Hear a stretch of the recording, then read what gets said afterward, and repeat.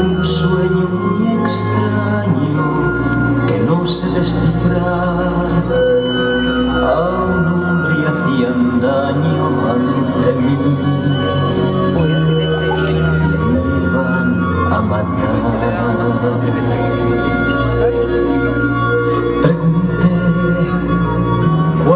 su crimen, que cómo sucedió, él solo dulcemente me miró